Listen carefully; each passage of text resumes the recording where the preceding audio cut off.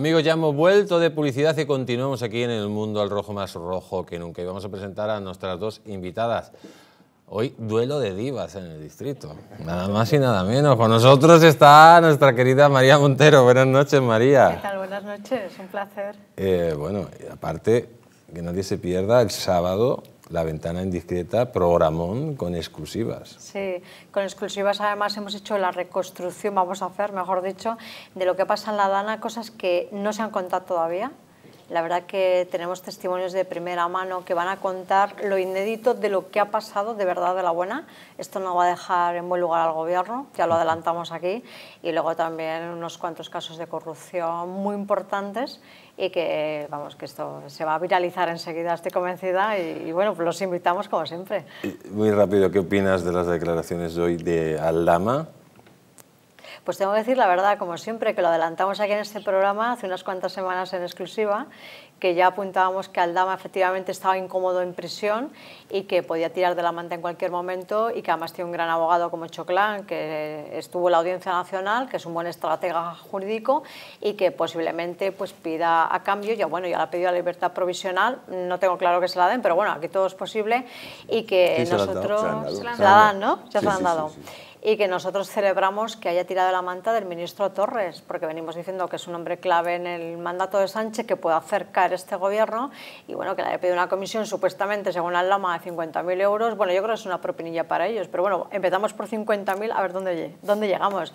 Celebrando también que, que aquí contamos que Actoir ya pedía a, a la Audiencia Nacional que la UCO investigue bien a Torres y, que, y para poderlo elevar al Supremo, para que se le investigue a fondo, incluso presuntamente pedir una imputación, y con lo que ha dicho ya el Lama, entiendo que el juez de la Audiencia Nacional se va a tomar muy en serio ese escrito de acto ir y va a tener que, que, hacer caso a, que, a esa petición y que la UCO se ponga a fondo con Ángel Víctor Torres, si no lo ha hecho ya, claro, y no lo sabemos todavía. Pues con nosotros también está nuestra querida Arancha Cabello. Buenas noches, Arancha, ¿cómo estás? Pues eh, estará muy... muy contenta porque va vos en las encuestas Va como una moto, como un cohete, como dice Sánchez. A ver, eh, contenta porque la gente empieza a darse cuenta de lo que está pasando en España, sí. Eh, que nosotros estamos defendiendo eh, a base de pico y pala pues el Estado de Derecho y, que esto cambie. Por eso también puedo estar contenta, pero la situación es tan dramática que pues es que no sé qué decir. Y quiero felicitar lo primero a María, porque el otro día estuve viendo su programa y es fantástico. Así que yo creo que programas como este, como el que lidera María, pues son muy necesarios para, para hacer una labor que no solamente es de partidos políticos, que es lo que digo siempre, no solo tienen que ser los partidos políticos. Tenemos que cambiar la sociedad, tenemos que darnos cuenta de que este no era el camino y que hay mucha gente buenísima, lo hemos visto ahora con, con la Dana de Valencia, con la gota fría de Valencia, y eso que dicen que les molesta tanto, que el pueblo salva al pueblo, es el momento, es el momento de salvar al pueblo y lo tenemos que hacer todos, todos los que estamos eh, luchando porque esto cambie. Pues amigos, vamos a, directamente al grano de lo que ha pasado. ¿Se acuerdan? Le hemos ido poniendo a lo largo de la semana esas imágenes de cómo, lo dicen los alcaldes de los pueblos, que la, gestión nefasta de la Confederación del Júcar provocó un tsunami. Y vamos a ponerle las imágenes de cómo se provocó esa ola. Vémoslo.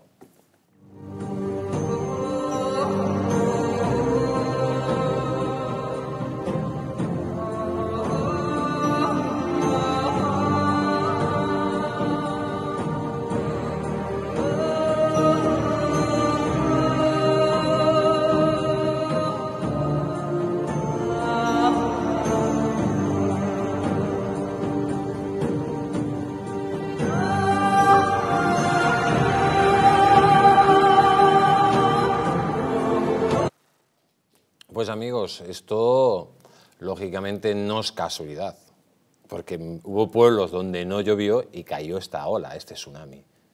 Y casi más de 80, 80 personas murieron en sus casas. O sea, que esto no ha sido que, no avisaran, no, no, no, que no avisaran de las lluvias, que, no, que el problema de las lluvias fue en Chivas o en Requena, que estuvo lloviendo 20 horas. No, no, esto es una gestión de la conferencia del JUCA, de la Confederación del JUCA, que gestionó los recursos del agua de tal forma que montaron esto. Y es que es muy importante lo que dijo, y lo estamos repitiendo toda la semana, pero es muy importante lo que dijo el diputado del Partido Popular, Juan Diego Requena, donde directamente dice que no fue una gestión negligente, que fue una gestión intencionada para provocar la inundación que posteriormente se provocó. Escúchenlo. Ellos estuvieron jugando con los minutos y con las horas del día para ver qué pasaba, a ver cómo eso iba a evolucionar. Efectivamente, el poder de la naturaleza fue tan brutal que ha sido catastrófico lo que ha pasado. Y por eso retrasa tanto Teresa Rivera la comunicación con el presidente de la comunidad diciendo, tenemos, estamos inquietos con la presa de la Forata.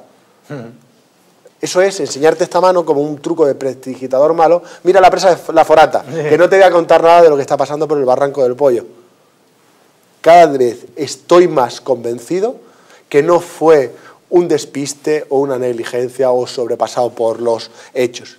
Cada vez estoy más convencido que fue una negligencia eh, racional. Adrede. Sí. Pues una negligencia adrede, dijo que sí, abiertamente. Tenemos al otro lado de Sky a nuestra querida Pilar Esquinas. Buenas noches, Pilar, ¿cómo estás? Muy buenas noches. Eh, encantada de poder compartir un ratito con, con gente tan maravillosa como, como todos los seguidores de vuestro canal y la gente tan, fantástica que tenéis ahora mismo en el estudio. Pues un placer tenerte aquí, sabes que esta es tu casa. Pilar, eh, el diputado nacional del Partido Popular habla claramente, lo, no sé si lo has oído, dice claramente que fue un, no fue una, una, gestión negligente, sino intencionada para provocar lo que se ha provocado. ¿Qué, qué sabes tú de esto? Pues que corroboro y lo que acaba de decir es lo que llevamos desde Aguayuris eh, diciendo y denunciando. Y de hecho tenemos mucha censura en redes, eh, en redes en todas las redes sociales porque Aguayuris denunció todo esto y tenemos ahora mismo con un grave problema en Telegram, en TikTok, en YouTube, en Aranjuez Directo, que son nuestras redes donde hemos estado haciendo vídeos, comunicando esto. Sabemos que en este momento hay una, un programa en la sexta que está ahora mismo pues despellejándonos o sea que, es, lo mismo y, nosotros no nos vamos, no vamos a arreglar y, estamos convencidos de, todo eso. Em, están hablando en otros programas de que hay una teoría conspiranoica que habla de la, de, la, de que quieren hacer una ciudad inteligente en Valencia. Em, digamos que pueden aprovechar una gestión de estas características para posteriormente hacer esa gestión? ¿Ha sido tal todo el desastre que puede salir de, ese desastre la famosa ciudad inteligente de Valencia? Eh, a mí me da verdad que mm, leer las, noticias de Matita, de, estos verificadores, y, ves cómo de verdad ese, el texto eh, llega y dice que es que se ha informado de que se dijo en un congreso que se iba a arrasar la ciudad para implantar esta ciudad. O sea, vamos a ver, ¿cómo puedes ser tan sinvergüenza de autodenominarte verificador y hacer ese texto, esa, esa, bueno, esa, esa junta letras? A ver, eh, las Smart Cities son una realidad, es un proyecto que además está financiado y hay muchos, eh, mucha gente colaborando para que esto eh, sea así. Y eh, ahora mismo, con la devastación que hay en la zona eh, donde precisamente se quiere aplicar esta reconstrucción, además de ver toda la cantidad de proyectos que hay de renovables que están en, esos, en, esa, en fase ahora mismo de, implantación y que confluye precisamente en la creación de estas ciudades inteligentes, de estas smart cities, eh, pues en breve lo vamos a ver. Si es que mm, es, pasa con, igual que con el dinero como la juventud el tiempo todo lo habla. si es que con el tiempo lo vamos a ver. O sea, yo preferiría equivocarme y volver a tener esas huertas maravillosas, esa gente maravillosa, sonriente y disfrutando de Valencia, y no el horror y tener a gente muerta, a gente desaparecida, negocios totalmente devastados, como lo que tengo ahora y que eh, ahora mismo, a día de hoy, no tengo ni los mejores apoyando, ni a los mejores resolviendo, ni situaciones de verdad que esté dando un poco de, de cobijo y de, acogimiento a toda esta maravillosa gente que, ha sufrido y está sufriendo tanto y que siguen en estado de shock por esos mayores, por esos niños, por esa, por esa gente maravillosa que, que a día de hoy todavía siguen viendo cómo tienen todo lleno de barro y cómo están sus huertas abandonadas y que no tienen ningún apoyo, solamente pues el contrato del contrato, el negocio del negocio, el quítate tú, ponme yo, y que es un auténtico asco y una auténtica verdad. Quiero hacer una pregunta. Em, lógicamente, se abrieron tres pantanos. Em, aquí no era cuestión de una alerta de lluvias. No era las lluvias, o sea, no era, las lluvias fueron muy fuertes en Chiva, por ejemplo, en Requena, etcétera, sino lo que produce las muertes de las personas es directamente ese caudal de agua que de una forma negligente, digamos, por, no ir más allá, pero podemos decir otras cosas, eh, provoca un tsunami. Y además provocan un tsunami y no avisan a la población. Claro, se puede ser negligente, pero es que según nos contó aquí el diputado nacional, el señor Diego, eh, Juan Diego Requena, dicen que es imposible es imposible con los aparatos que tienen, con la información que tienen, con la tecnología que tienen, saben al dedillo cuánto va a ser el cauce del río a tal hora en función de las lluvias, saben perfectamente si con las lluvias que vienen se va a llenar las presas o no se van a llenar, que podían haber ir echando agua poco a poco de las presas, que la echaron todo de golpe cuando ya directamente se iban a desbordar. En definitiva, todo suena muy mal, ¿no? Totalmente. Y más me cuando estamos hablando de cinco presas. Benajever, eh, Contreras, que están en Júcar y esta está en Turia, pero sobre todo las más graves que son Loriguilla, Museo y Forata. O sea, eh, todas esas presas tienen que tener y además tienen un registro de datos, porque hay una guía de, las normas de explotación de esas presas, que es por así decirlo como un libro en el que llegan y cada medición, cada, cada situación, cada desembalse, pues tiene que estar allí, eh, tiene que estar contemplado. Estamos esperando a ver si también llegan y van a modificar estos libros y sobre todo qué silencio hay de las comisiones de desembalse.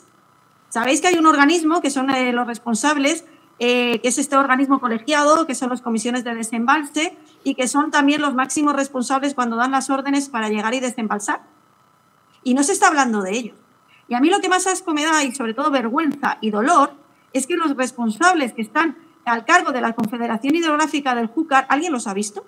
Porque yo, ¿cómo puede ser que un funcionario o un trabajador que estaba, eh, estaba supervisando el sistema eh, automático e informático de hidráulico, este, el SAI, eh, que avisara ahí el correo, porque ha salido hoy en el mundo, el correo electrónico de hola, buenas, que vamos a estar en estado 2, en Forata, eh, mire usted, eh, ahí no cumple la normativa.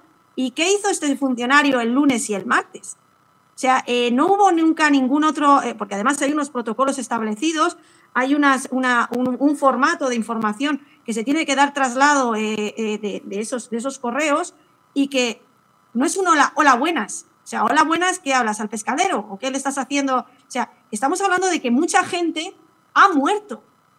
¿Y cómo no, dónde estaban esos funcionarios ¿Dónde estaba toda esa, esa gente que tenía que haber, que haber eh, apoyado y que tenía que haber estado investigando y sobre todo, eh, bueno, pues corroborando esos datos? Comisión de desembalse, os estoy hablando. Junta, o sea, la comisión de, ahora mismo eh, más importante que también hay, que es el presidente, o sea, un gabinete de crisis en una situación de estas y sobre todo dónde están esos coordinadores de este sistema informático que, que son los responsables junto con meteorología de llegar y de informar todo esto. Porque es que además en el Jucan teníamos y tenemos a Cofrentes, tenemos una central nuclear. O sea, es que por favor, si somos conscientes de lo que, de lo que está ocurriendo, de lo que se ha vivido y que nadie quiera asumir las responsabilidades porque son compartidas. Aquí hay dos grandes partidos que tienen aquí una, eh, tienen peones dentro de este tablero, pero que hay muchas bajas. Pues doña Pilar, como siempre, un placer tenerla aquí y reciba un fuerte abrazo.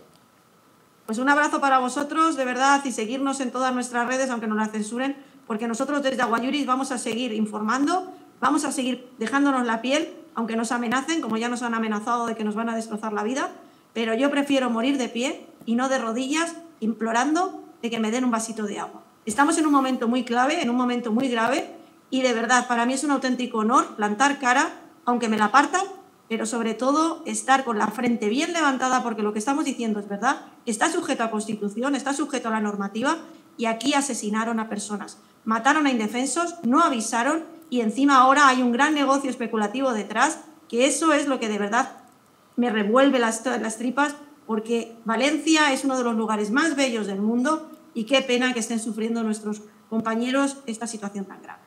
Pues ahí quedan las palabras de doña Pilar. Un placer, cuídese muchísimo. Igual, muchos besos y de verdad, enhorabuena por el trabajo que estáis haciendo. Muchísimas gracias. Igualmente ese trabajo, señora María Montero. Em, estamos hablando de que no fue, no era no era, no era había una alerta de, de, lluvias, sino una alerta de inundaciones, precisamente porque se abrieron las presas. Y no la dieron. Y cuando la dieron ya se estaba ahogando la gente. Y claro, es que con, todo, con toda la tecnología, con todos los funcionarios, con todos los métodos que hay, cualquier persona que haya visto la conferencia, y, sé perfectamente que usted eh, va a sacar una exclusiva precisamente sobre esto, que le van a dar información de que tenían toda la información, hicieron todo lo contrario a lo que dicen los protocolos. Hay 16, tenía que haber avisado 16 veces por escrito la conferencia de Júcar y no avisó de que se iban a inundar los pueblos. Estuvieron dos, horas y media callados. Esto no se entiende. O sea, no cabe en cabeza humana que hayan hecho de esto de forma criminal. A mí no me cabe. Pero claro, eh, la villa de señora hay de todo. Absolutamente. La verdad que, gracias ¿no? por la introducción, porque es verdad que vamos a desvelar claves muy importantes este sábado. Es cierto, la venta indiscreta, claro, ahora no puedo contar todo lo que sé, me tengo que morder la lengua que me está costando mucho en este programa. Pero efectivamente, cuando revelemos algunas cosas, se van em, a empezar a entender algunas cosas que pasaron aquel día. Sí que es cierto que es verdad que algunas fuentes de la Generalitat también me apuntaron que vamos a abrir comillas, fallos humanos de comunicaciones, pérdida de tiempo, vamos a llamar a este que hacemos, pero eso no salva vidas, efectivamente, eso las, las puede llegar a perder. Y por otra parte, hay una gran clave entre la Confederación Hidrográfica del Júcar y efectivamente la cadena de comunicación, ahí está la madre del cordero. Porque tú puedes hacer desaguar una presa. Ojo, que también algunos ingenieros de caminos que hemos consultado dicen, bueno, que una presa se rompa, María pone muchas comillas porque eso es prácticamente imposible. Pero todos los medios de comunicación, los grandes medios de comunicación decían, claro, cuando la presa estaba ya a tope, hay que echar el agua, porque si no se rompe la presa. Y, y ahí se quedó la, la, patraña, ahí ya está. Exacto, esa es una patraña, esa es la palabra correcta, exacto. Luego también es cierto que hay mucho miedo en el Ministerio de Transición Ecológica y tiene mucho miedo la ministra Rivera, eh, algunos funcionarios y gente que trabaja en, en, su ministerio a hablar. Es decir, hay otra cosa importante ¿no? que hay que poner sobre la mesa y es que se ha creado un miedo manifiesto por parte de este gobierno a que los funcionarios hablen y son grandes responsables, porque al final, cuando los jueces empiezan a llamar con las querellas interpuestas y se empiezan a admitir a trámite y tal, se va a llamar a los funcionarios. Claro. Entonces, tienen pánico ¿Quién fue el funcionario que tenía que dar la, voz de alerta y alguien desde arriba le dijo que no? Yo tengo filtraciones de que hay unas presiones brutales ahora mismo sobre la gente que trabaja en el Ministerio de Teresa Rivera pero miedo a hablar. O sea, que hay amenazas. Sí, sí, sí. Se sienten perseguidos, vigilados. Eh, es alucinante lo que está pasando en España. Y, siempre parece ¿no? que vamos un poco por delante aquí en, esta casa y, basta que lo digamos y a lo mejor salga alguno y rompa el silencio y diga, pues sí, ha recibido presiones o no quieren que cuente ciertas cosas. Y bueno, yo los coros que van saliendo es como la punta del iceberg realmente eh, eh, la, cadena de custodia, lo voy a llamar así, ¿no? cadena de custodia e información de lo que pasó ese día, yo creo que se va a acabar sabiendo la verdad. Ahora mismo eh, hay ya bomberos haciendo un trabajo de investigación muy serio, hay gente de la Guardia Civil haciendo un trabajo de investigación muy serio y que están recabando datos como sea antes de que se borren cosas. Y esto es lo o sea, que... están borrando ya eh, datos para que no se sepa la verdad. Pues mira, borrarlo desconozco, pero no me extrañaría nada, porque cuando hay tanto miedo a que se filtre información desde ese ministerio, será por algo. Y luego, en lo que decía la, la, ministra perdón, Teresa Rivera, que iba a hacer pedagogía en el Parlamento, ¿no? en el Congreso, qué vergüenza. Es que es verdad, ¿pedagogía de qué? Para, para, para su ombligo, ¿no? para irse a Europa. Es que encima presumen de, de, de una gestión criminal hubo un momento en su declaración en el Parlamento Europeo que fue de una inmoralidad verdaderamente estomagante y es cuando esta señora con sus gafas puestas, dirigiéndose a sus homólogos como diciendo yo soy la ministra en España, os voy a explicar, eh, y, y poco menos, bueno, poco menos no, de- declaró como responsables a, los propios, a las propias víctimas, diciendo, diciendo como, claro, es que si no os tomáis en serio las alertas, pues pasa lo que pasa, ¿no? Diciendo, no es que funciona mal, es que la gente es, eh, la gente es idiota, murió por idiota. Le faltó decir, le faltó decir, o sea, es que es de una indecencia inmoral, eh, le faltó decir que es que los valencianos como no están en forma, pues no corren como gacelas cuando bajan las aguas. Es decir, han muerto por gordos. Es decir, es que les faltó ya, mm, fue un momento de verdad, yo lo vi y no estaba dando crédito que un personaje tan abyecto pueda ser ministra y que encima se la vaya a recompensar en la Unión Europea. Claro, ¿quién la va a recompensar? Otro personaje abyecto que es Ursula von der Leyen. Pero vamos, yo ese momento es un momento apoteósico. Yo no creo que cualquier español, de igual de lo que votes o de lo que seas, tú ves eso y se te enciende la sangre. Voy a leerle una noticia porque esta noticia es clave. Dice, el silencio de 2,5 horas de la Confederación de Júcar sobre el caudal del pollo desmonta el discurso de Rivera. 2,5 horas. Tardaron en decir que estaban los ríos desbordados. Y cuando ya avisan, está muriendo gente. Usted que es funcionaria y sabe muy bien de los protocolos, cómo funcionan, eh, ¿cómo es posible que una cosa que está escrita, que se la saben de memoria, no es que falle una vez, hasta 16 veces no, no- no informaron por escrito según los protocolos? ¿Quién tiene que dar esa orden? Eh, lo primero, yo creo que sí que se puede saber eh, qué es lo que ha ocurrido siempre que no se destruyan las, la- las informaciones, porque todo al final tiene rastro, hay correos electrónicos, hay personas implicadas. Y quiero decir lo primero, que España es un país del primer mundo. Hay protocolos para esto. Está regulado todo. Claro. ¿Cómo puede ocurrir? Pues porque se está desmantelando la administración. Entonces, Explique eso. eh, pues eh, el- el- la administración es, eh, tenemos que entender que es un poco como el ejército, no es igual, porque hay la cadena de mando, pero todo tiene un puesto, cada puesto tiene unos cometidos y está regulado, o sea, todo está escrito en algún sitio. Entonces, tú tienes un funcionario del grupo, por ejemplo, el grupo mm, C1, que es un administrativo que tiene que hacer esto. Y luego el que está por encima es una 2 y el que está por encima es una 1 y tienen ciertos niveles. Entonces, en ese protocolo están identificados cada uno de los grados que tiene la competencia para hacer algo. ¿Qué pasa en una cadena de mando si tú coges y, y quitas la cabeza? Es un puesto que tendría que ser de funcionario y es político que tiene y que no tiene las competencias, pues ese ya no sabe lo que tiene que hacer y como tampoco nadie le dice lo que se tiene que estudiar ni le cuenta lo importante que es su trabajo y ese puesto de funcionario que a lo mejor estado ocupando alguien pues eh, de un nivel 30, pues lo sustituyen por alguien que es el amigo de no sé quién, del cuerpo no sé qué, que no tiene nada que ver, ¿no? Y entonces, claro, quitas al ingeniero y pones a un puesto, digamos, de afinidad política.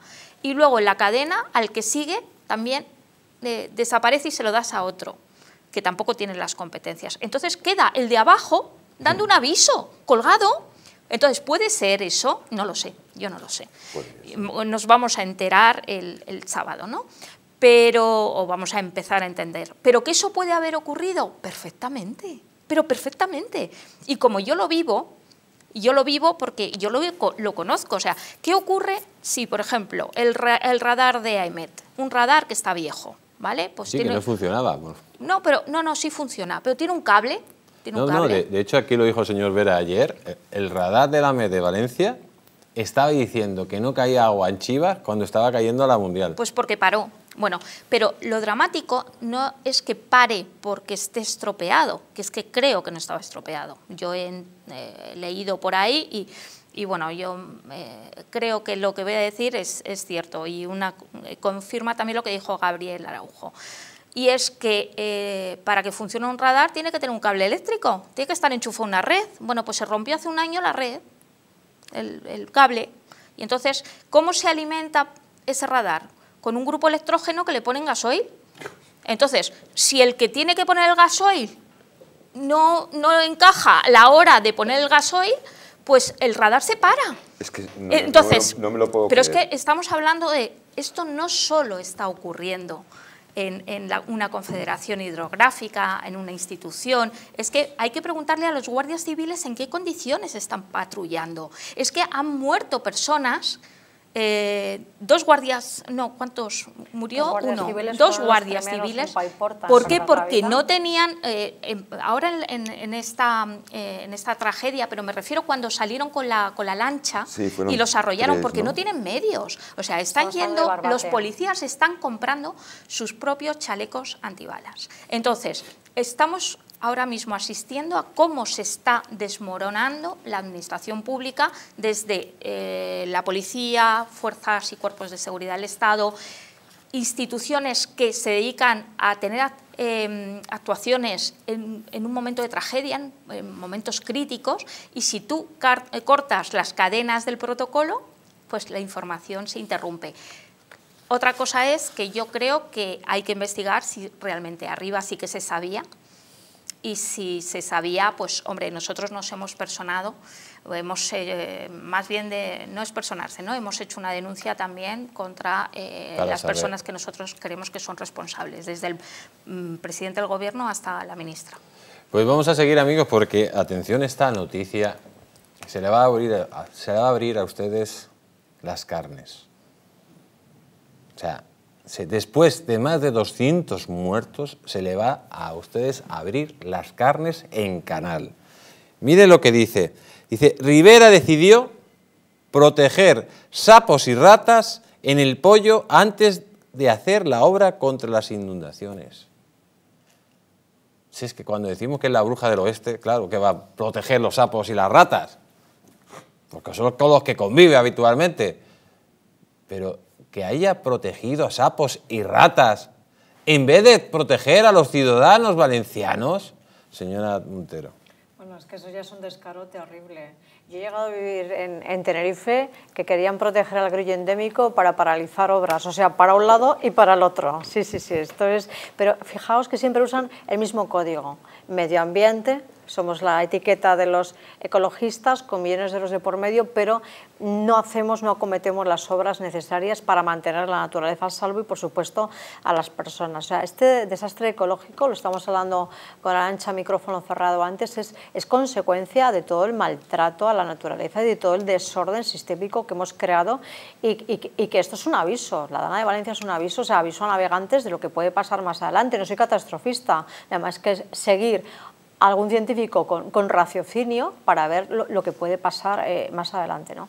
Entonces, esto por un lado. Y por otra parte, tenemos un gobierno absolutamente negligente con la cometida de obras necesarias y serias y además que es que están presupuestadas que es que realmente no han querido ejecutarlas porque presupuesto tenían y planes había para hacerlo. Y otra cosa muy importante, y es que eh, el Partido Socialista o el gobierno de Pedro Sánchez se dedica a tirar balones fuera con Mazón. Muy bien, Mazón tiene su responsabilidad, eso no lo vamos a negar, pero es que todo esto viene de atrás y viene de la época de Simo Puig. Y claro, todos están ahí calladitos, como si ellos no hubieran gestionado emergencias y seguridad como si no hubieran hecho protocolos anteriormente y hubieran hecho contrataciones y poniendo y quitando a gente a dedo. Entonces, claro, bueno, ha llegado Amazon, vale, muy bien, que asuma su responsabilidad, pero ¿y lo que había de antes con lo que se encuentra Amazon cuando llega? ¿Cómo dejó emergencia y seguridad el antiguo presidente socialista? Es una de las grandes preguntas que tenemos que poner sobre la mesa para ser honestos y dar de, pleno en la diana realmente con lo que ha pasado, porque el que piensa ahora que esto pasa con Mazón es un autoengaño, es como un efecto placebo. No, señores, esto es una gestión que viene de años mal gestionándose hasta que hemos llegado a este punto. O sea, que, que no se engañen con Mazón, sino que esto viene de atrás y el que quiera, el que quiera oír, que, que oiga o, o entienda, ¿no?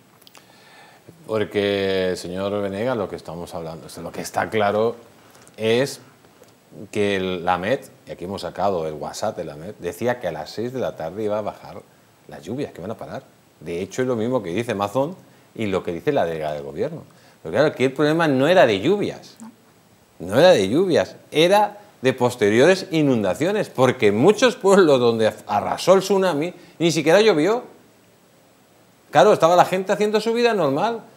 Si le está diciendo va a haber una... No, no, le tienes que decir, oiga, que ha habido lluvias muy fuertes y esto va a provocar una inundación y tienes eh, en esas dos horas, en esas dos horas, por lo menos hacer que la gente se suba en alto para salvar la vida, ya que no puede salvar los bienes. Es que hay dos, hay dos cuestiones fundamentales. Una es la imprevisión.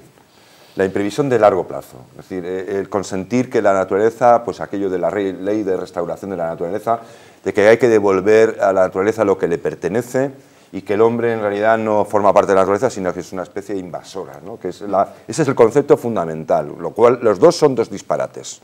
El hombre es naturaleza porque nacemos de la naturaleza y somos parte de ella, igual que hay unas especies dominantes, pues nosotros somos una especie dominante y, y es lo que hay. Y entonces, para nosotros garantizarnos nuestra supervivencia, por supuesto, tenemos que ser responsables, eh, eh, cuidar el medio ambiente, decir, eso, eso, nadie lo discute. Lo que no puede ser es que esta cultura, esta doctrina, esta casi, este dogma, es una, casi una religión, haya puesto en peligro, esté poniendo en peligro las vidas de los, de los seres humanos. Esto es lo que ha pasado en Valencia. Lo de Valencia es básicamente dos factores. Uno, tenemos un gobierno que no gobierna, que está para robar y por lo tanto no puede gobernar porque no puede estar manteniéndose en el poder y robando y al mismo tiempo gobernando. Eso es imposible. O estás a una cosa o estás a la otra y no gobierna. España no tiene gobierno, en España no se hacen las cosas. Todo se deja sin hacer. Todo ocurre al final de alguna manera inesperada y siempre, como decía bien, decías perfectamente antes, eh, al final algún currito que hay ahí es el que manda un correo y hace algo. Es decir, el Estado está funcionando porque es como una gran organización que es, pues funciona como toda gran organización descabezada por inercia. Tiene una inercia que la mantiene en marcha. ¿Qué ocurre? Que cuando sucede algo extraordinario como lo de Valencia, entonces ese gran aparato lo que hace es que es como un robot que, pierde el control, que perdió el, control y que se desploma y se desmorona. Se desmorona un robot torpe, ¿no? entonces se desmorona sobre la gente. Es decir, esto tiene causa muertes. Entonces, este es, este es el gran, la gran cuestión. Y es una gran cuestión que no solo es del Partido Socialista, que es, este es el que roba, ¿vale? Es una cuestión que debemos tener en cuenta que también ha afectado a otros partidos que se han comido, se han tragado esta religión eh, que está mmm, costando vidas. Oiga, si el, de verdad hay un cambio climático, yo no soy experto, ni lo discuto, ni negacionista. Si lo dicen, lo habrá.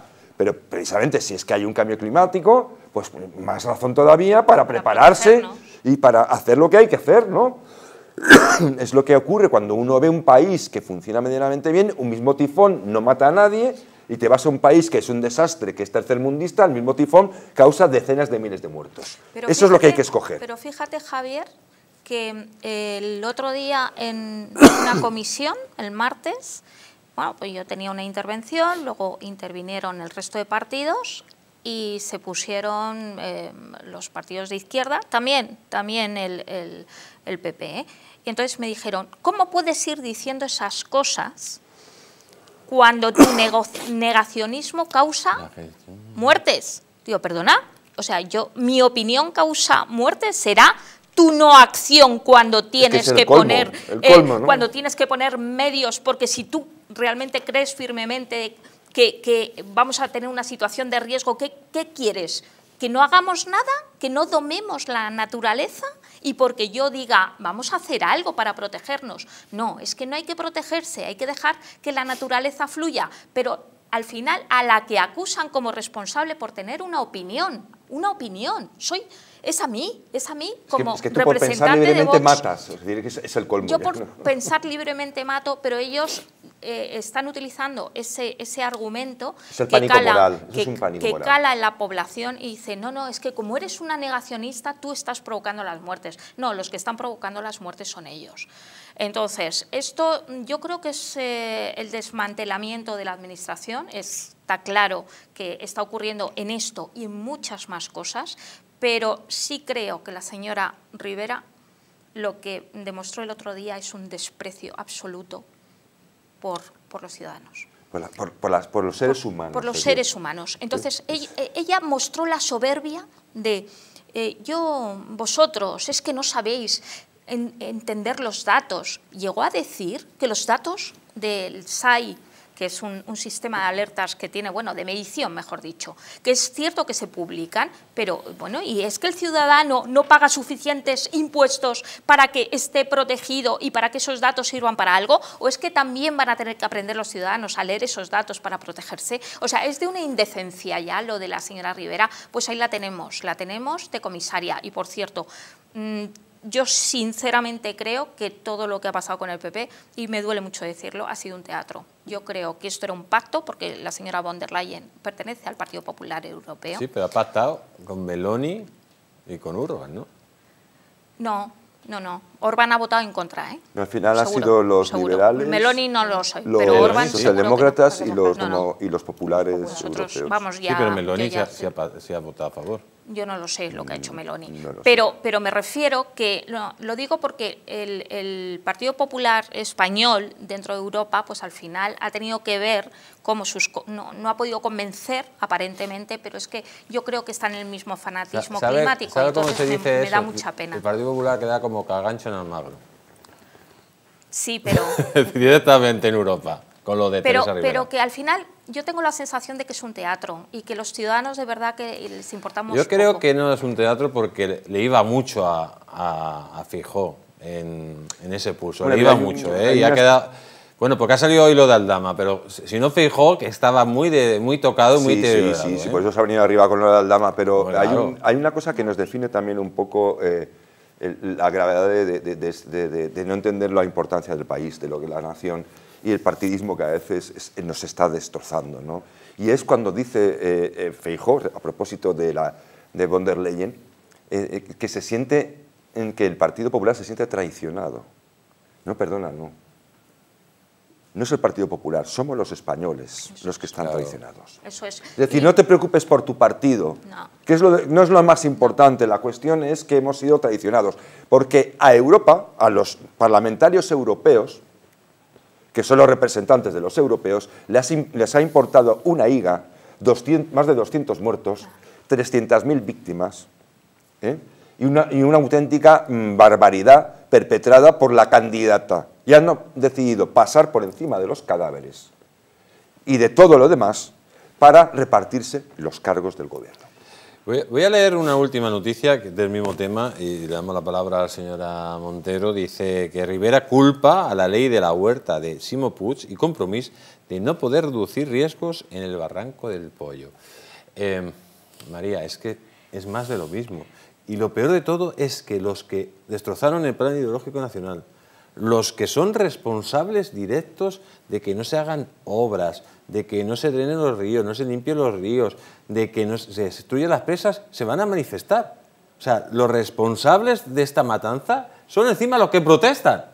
Sí, sí, yo estoy, de verdad, eh, con esto estoy, bueno, asombrada, es una palabra muy pequeña, es la que se me ocurre ahora, pero fijaos que además, habiendo dinero para haber acometido las obras, y dices, bueno, no tengo presupuesto, bueno, pues lo pides, para eso te estamos pagando, que eres ministra, pero es que ha- había dinero, había gestores, había ingenieros, o sea, había gente con conocimiento técnico, pero a mí lo que me filtran fuentes del Partido Socialista, no sé si vosotros tenéis alguna filtración de estas, es que es como un recambio de piezas. ¿No? En el Parlamento Europeo ponemos en el ajedrez a Teresa Rivera arriesgándose a poder ser imputada o al menos citada más adelante si se admite Sí. las querellas. Ya, pero ya ha dicho que no piensa dimitir si es imputada. Bueno, pero es que von der Leyen creo que tampoco está en muy buena situación, que estaba Exacto. No, pero que Teresa investigado, Rivera, imputada. de que quisieron sacar en la negociación el compromiso de que si era imputada dimitiría, ha dicho que no. Ya, ya, ya, eso por una parte. Y por otra parte, bueno, pues es, parece como un pacto en agresión según me cuentan. Bueno, pues vamos a dejar a Amazon un poquito tranquilo, que reconstruya Valencia, vamos a regar esto de millones de euros y es como un pacto en agresión, ¿no? No me tocas a mí, yo no te toco a ti, porque es que no hay otra explicación. Seguro que las hay, pero bueno, a mí me filtra un poco esto por parte de, de algunos socialistas que hemos consultado. Es decir, no deja de ser un ajedrez y como decía muy bien Arancha, no deja de ser un juego político. Bueno, pues te apoyamos con Rivera y tú aquí, Amazon no me lo toques ni a Valencia, porque aquí estamos todos en un pacto de una agresión. Al final, como bien decías, mi querido compañero de Fatigas, Venegas, al final paga a los ciudadanos. Pues amigos, vamos a darles a todos ustedes una recomendación. ¿Quieren adelgazar dos kilos en 48 horas? ¿Te gustaría perder esos kilitos de más? ¿Volver a utilizar aquellas prendas que tanto te gustaban? Naturhaus te trae la forma más rápida y eficaz de hacerlo. En tan solo dos días podrás bajar de peso gracias al Pack Express, un producto de Naturhaus que contiene todas las comidas y dietas necesarias para perder en tan solo 48 horas hasta 2 kilos. Te ofrecemos un servicio personalizado. No tendrás que saltarte comida ni pasar hambre. El Pack Express adapta a ti. No lo pienses más y acude a tu centro Naturhaus más cercano. Nos vamos a publicidad, amigos. Nos vamos a publicidad porque hoy también hay que hablar de lo que está pasando en Hispanoamérica. Atención, que cada vez está más claro que Maduro no termina el año 2025. 2025, no lo va a terminar. Donald Trump ya ha dicho que Maduro va a salir en el año 2025 del poder. María Corina Machado ya ha pedido ayuda a Estados Unidos, en una entrevista ha salido en el New York Times, diciendo abiertamente que cualquier ayuda que sea de, Estados Unidos, cualquier ayuda, quiere decir financiera, militar o lo que sea, que venga de Estados Unidos, será bien recibida por la oposición. Y, bueno, también está eh, la gente en Miami, los venezolanos que están en Miami, ya nos habló Carlos Molina, que sí estaban preparando una acción militar. Atención, hay 160.000 eh, militares en Venezuela, según la oposición, que podrían estar esperando, que serían una quinta columna de Maduro y que podrían estar esperando la voz de empezar la batalla. Lo vamos a ver todo esto después de publicidad. No se vayan, porque si no madura no se la va a contar.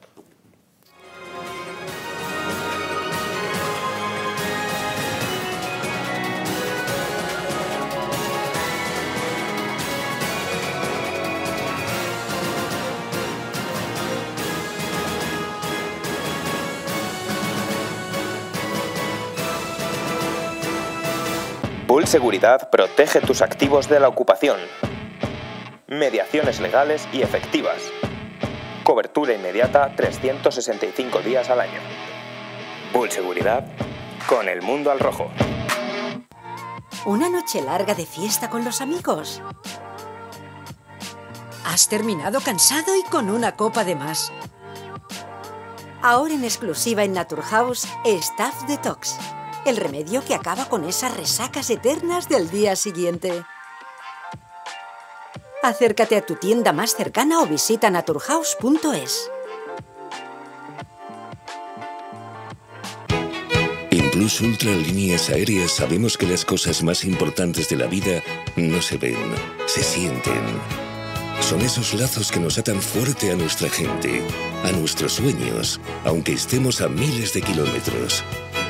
No importa de dónde vengas o a dónde vayas.